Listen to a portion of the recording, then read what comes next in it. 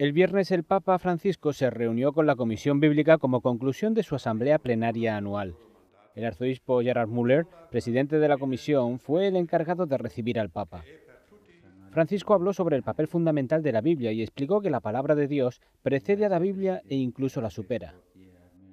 È per questo che la nostra fede non ha al centro soltanto un libro, ma una storia di salvezza e soprattutto una persona, Gesù Cristo, parola di Dio fatta carne.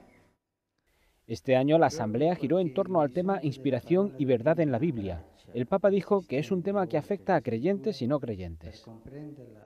La vita e la missione della Chiesa si fondano sulla parola di Dio, la quale è anima della teologia e insieme ispiratrice di tutta l'esistenza cristiana.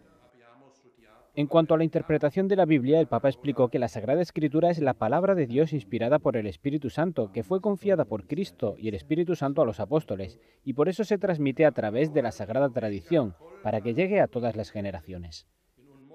L'interpretazione delle Sacre Scritture non può essere soltanto uno sforzo scientifico individuale, ma deve, deve essere sempre confrontata, inserita y autenticata dalla tradizione vivente della Chiesa.